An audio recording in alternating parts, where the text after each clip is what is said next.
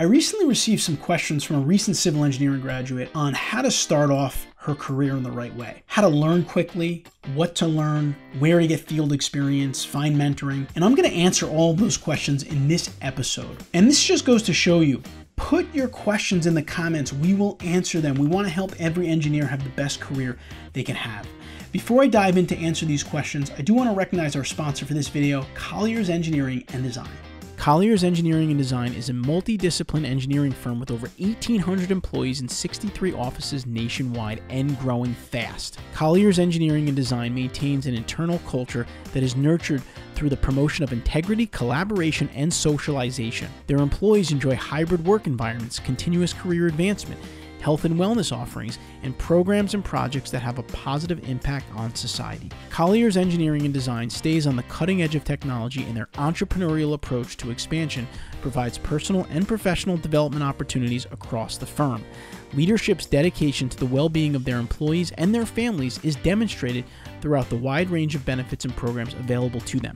For more information, visit the career page on their website at colliersengineering.com.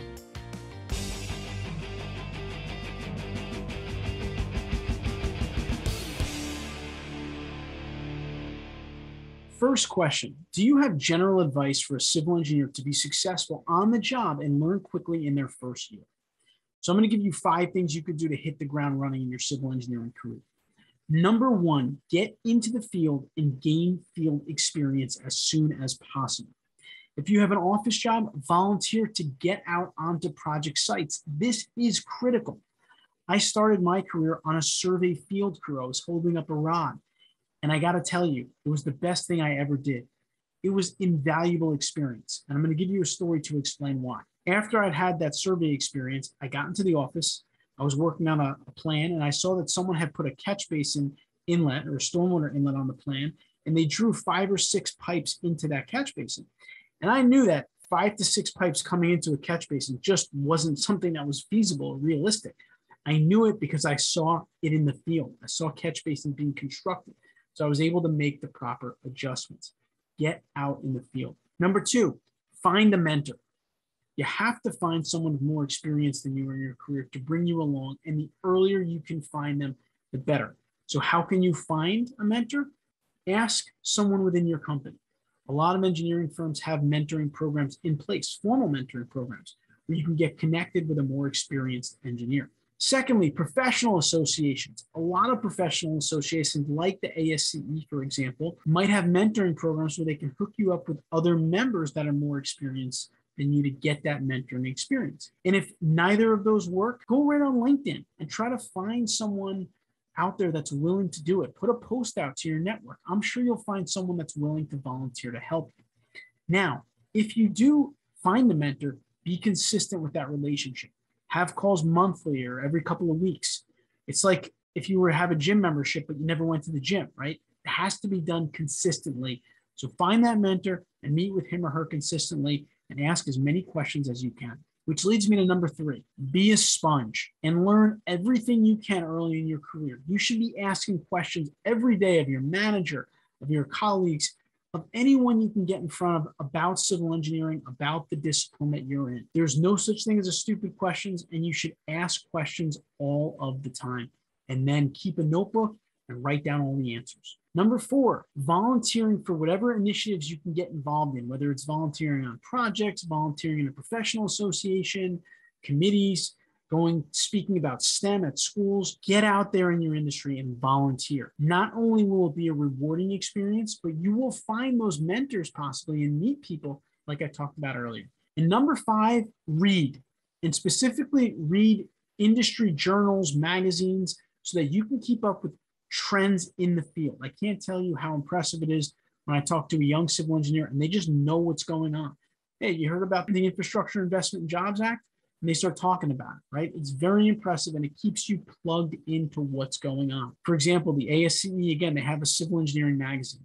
As a member, I get it every month and I read it and it keeps me up to date. right? So those are five things you can do to hit the ground running in your career. Get field experience ASAP, find a mentor through your company, through LinkedIn, through an association, be a sponge and learn everything you can by asking a lot of questions. Volunteer wherever you can, professional associations for things within the company. And number five, read, stay up to date on industry trends. So that was an excellent question. Um, and you could put more questions in the comments and I'll try to answer them, whether you're listening to this audio or watching it on YouTube.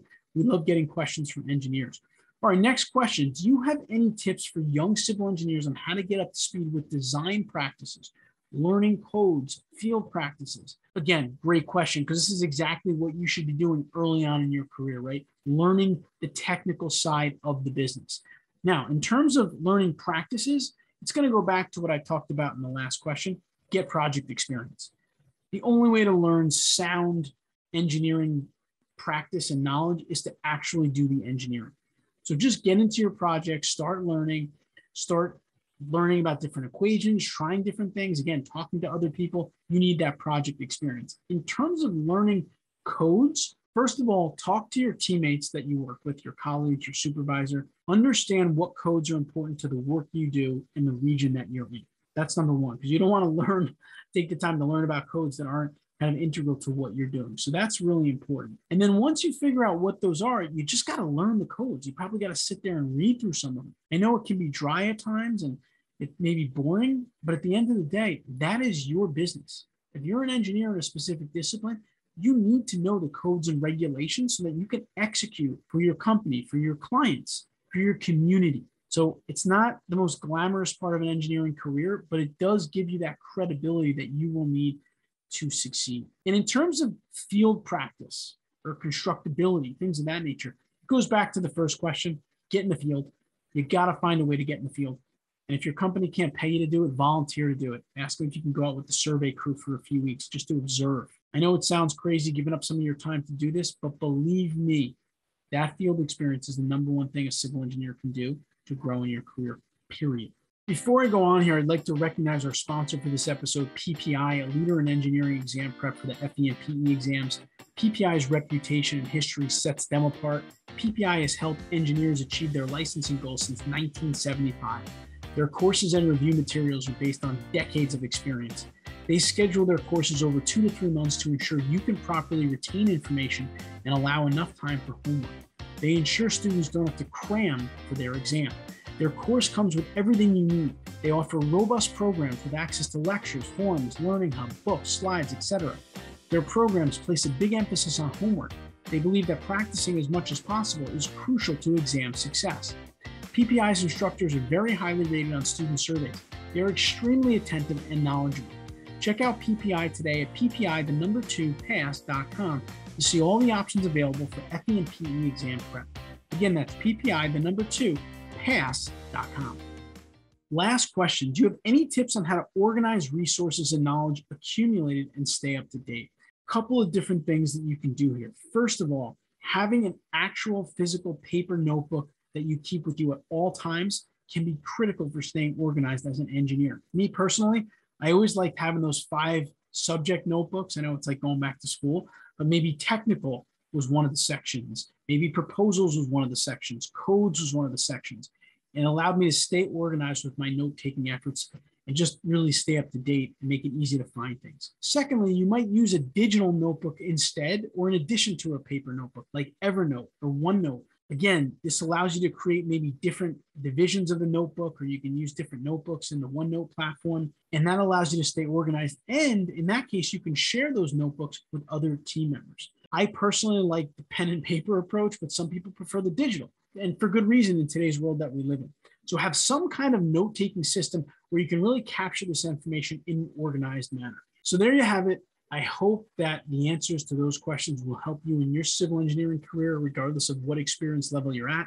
If you happen to be more experienced, maybe you want to share this episode with a younger professional, maybe someone you're mentoring. But all I can say is continue to leave comments with your questions about your career as a civil engineer, and we will try to answer them and really help you to grow your career. I hope you found those questions and answers helpful for you in your career. I think they apply not just to recent graduates, but I think engineers of all ages can utilize some of these actions and strategies to build your knowledge and be the engineer you want to be.